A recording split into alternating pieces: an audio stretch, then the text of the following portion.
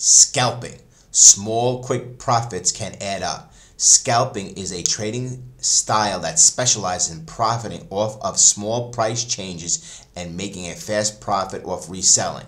In day trading, scalping is a term for a strategy to prioritize making high volumes off small profits. Scalping requires a trader to have a strict exit strategy because one large loss could eliminate the many small gains the trader worked to obtain. Thus, having the right tools such as a live feed, direct access brokers, and a stamina to place many trades is required for this strategy to be successful. This video is about the strategy, the different types of scalping, and the tips on how to use this style of trading. How stock scalping works. Scalping is based on assumption that most stocks will complete the first stage of a movement, but where it goes from there is uncertain. After the initial stage, some stocks cease to advance while others continue to advance. A discounter intends to take as many small profits as possible. This is the possible opposite of let your profits run mindset, which attempts to optimize positive trading results by increasing the size of winning trades. This strategy achieves results by increasing the number of winners and sacrificing the size of the wins. It's not uncommon for a trader with a longer time frame to achieve positive results by winning only half or even less of the trades. It's just that wins are much bigger than losses. A successful stock scalper, however, will have a much higher ratio of winning trades versus losing ones while keeping profits roughly equal or slightly bigger than losses. The main premise of scalping are lessened exposure limit risk. A brief exposure to the market diminishes the probability of running into an adverse event. Smaller moves are easier to attain. A bigger imbalance of supply and demand is needed to warrant bigger price changes. For example, it's easier for a stock to make 0.01 move than it is to make a $1 move.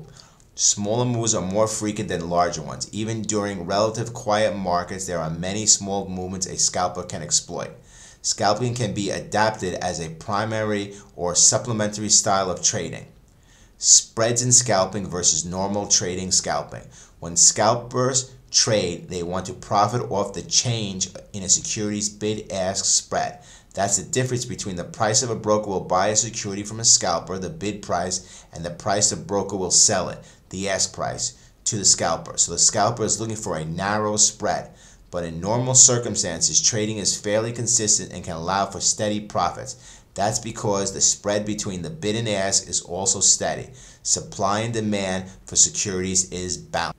Scalping as a primary trading style. A pure scalper will make a number of trades each day, perhaps in the hundreds. A scalper will mostly utilize tick or one minute charts since the time frame is small and they need to see the setups as they take shape as close to real time as possible. Supporting systems such as direct access trading, DAT, and level 2 quotations are essential for this type of trading.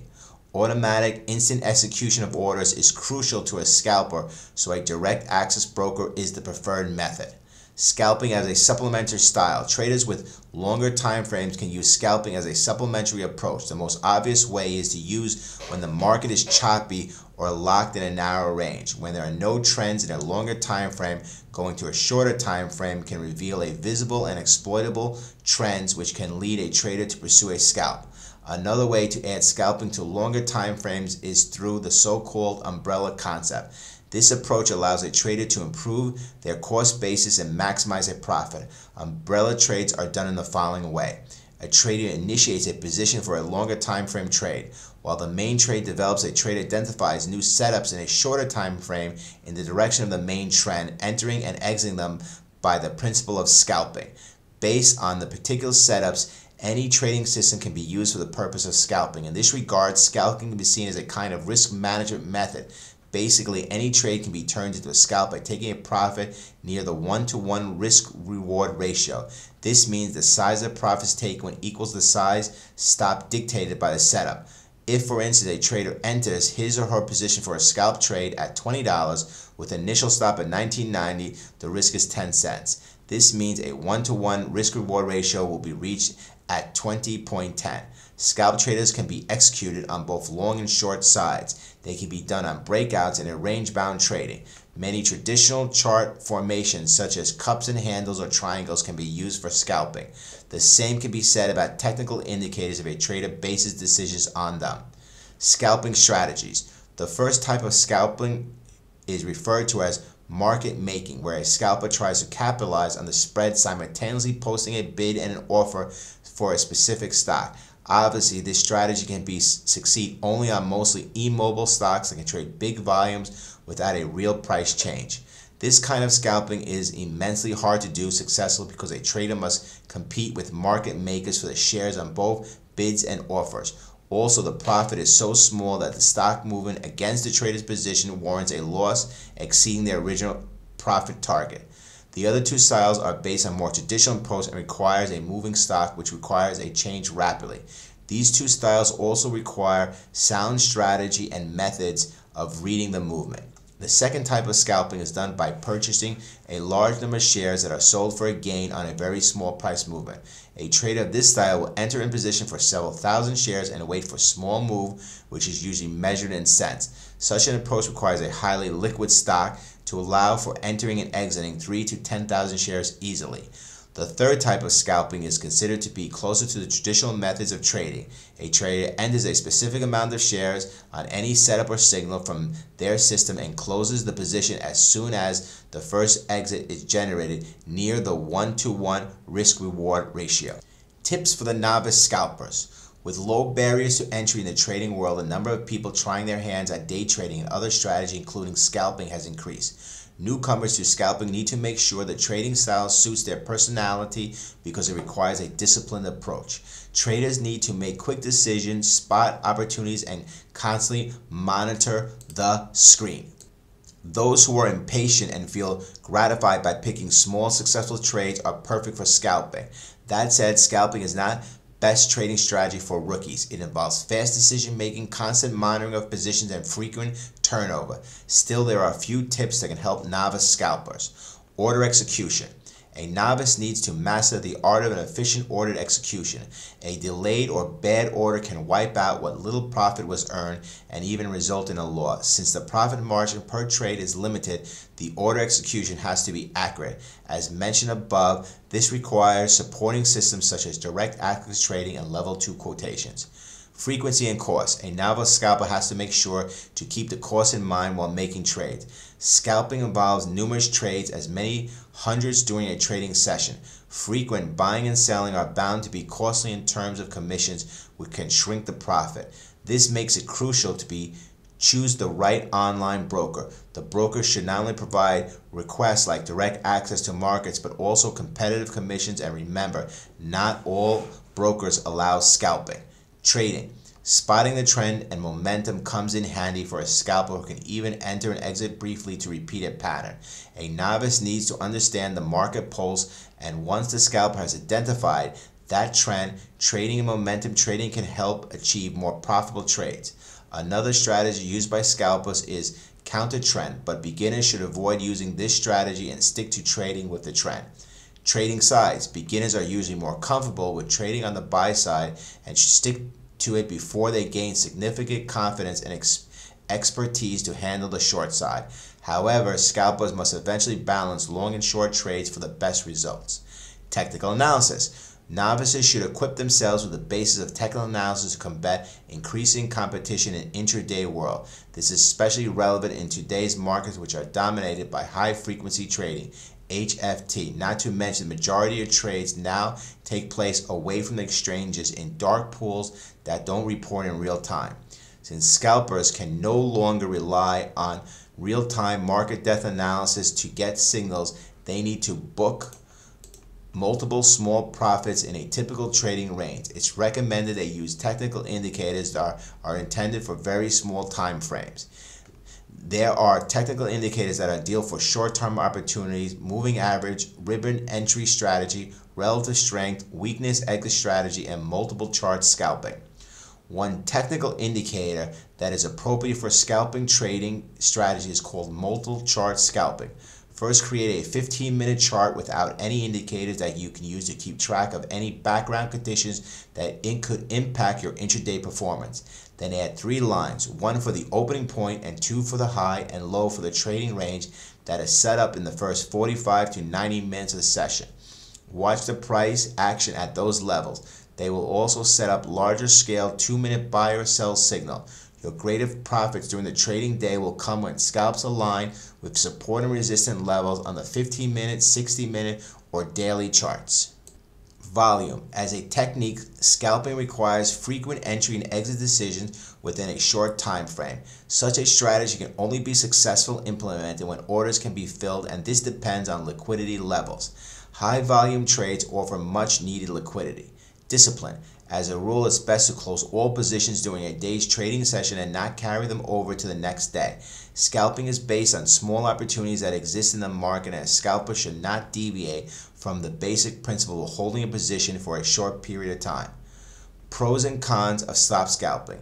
If a trader is able to implement a strict exit strategy, one of the biggest advantages of scalping is that it can be very profitable. Scalpers can leverage small changes in the price of stock that may not necessarily reflect the overall trend of the commodities price for the day. Scalpers also do not have to follow basic fundamentals because they don't play a significant role when dealing with only a very short time frame. For this reason, traders don't need to know much about the stock. Another major advantage of the strategy is that there's very little market risk involved. It is designed to limit the losses from only one stock by making tight leverage and stop loss points. Scalping is also non-directional, so the markets do not need to be moving in a certain direction in order to take advantage of it. It works when markets are moving up and down. Finally, many scalping strategies are easily automated within the trading system and is being used because they are usually based on a series of technical criteria. However, there are also drawbacks to using scalping as trading strategy. First and foremost, scalping involves a maximum number of trades compared to other strategies. Opening a large number of trades comes with higher transaction costs because you are paying a commission on every trade. With scalping, you have to take advantage of high amounts of trades to generate enough profits. For some traders, the risk of just generating small profits is not worth it. Some scalpers make dozens or hundreds of trades a day. This strategy can be very time consuming and requires high levels of concentration. Pros of stock scalping can be very profitable if executed precisely and with strict exit strategy. Many opportunities leverage small changes in the price of a stock. Do not have to follow basic fundamentals. Very little market risk involved. Non-directional strategy can be used when the market is going up or down. Can easily be automated within the trading system that is being used.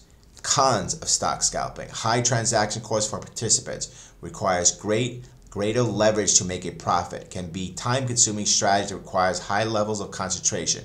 Need to make dozens or hundreds of trades per day to see a profit. Is stock scalping illegal? Stock scalping is a legal trading strategy. It is used both on retail and institutional investors. However, it can also be fraudulently, as has been noted by the SEC, such as when a market participant recommends a stock so as to cause a price to spike and then sells it at an inflated price to generate profits. Can you make money scalping stocks? Yes, you can make money scalping stocks, although scalping sacrifices the size of winning trades. It massively increases the ratio of winning trades to losing ones. However, some traders prefer different strategies that allow them to partake in bigger wins. With scalping, traders take lots of small wins quickly in order to minimize risk, which means that in the pursuit of small wins, they miss out on bigger wins. How do I choose stock for scalping? Scalpers typically make trading decisions based on three different factors. First, they set a target price amount per trade. This amount is relative to the size of the price of the stock, although most scalpers look for gains in the 10 cents to 25 cent range. Scalpers also use the level 2 quotation to follow that breakout to new intraday high or lows in order to capture as much profit as possible. However, to successfully execute this approach, you need to maintain a focus for extended periods of time and have the highest level of order execution. Finally, scalpers trend spot. Follow the news and spot the trends that may cause a security to become volatile. This allows them to create a watch list of hot stocks that are likely to experience price movements. What are some scalping trading strategies? There are many scalping strategy. One strategy is known as market making. With this strategy, the trader aims to capitalize on the bid-ask spread by putting out a bid and making an offer for the same stock at the same time. This strategy is best employed with stocks that are not showing any real price changes. Another strategy entails a larger number of shares and then selling them for a profit with a tiny price movement. For example, a trader might enter a position for thousands of shares and wait for a tiny price movement to occur. This movement can be as little as a few cents. A third set strategy resembles a traditional day trading strategy. A trader enters in an amount of shares on a single system or setup and exits the position as soon as a signal is generated near the risk reward ratio of 1 to 1. At the point of profit equals the size of the scalper stop. For example, if a trader enters a position at $20 with a stop at 19.90, the risk is 10 cents. A risk reward ratio of 1 to 1 will be re reached at 20.10.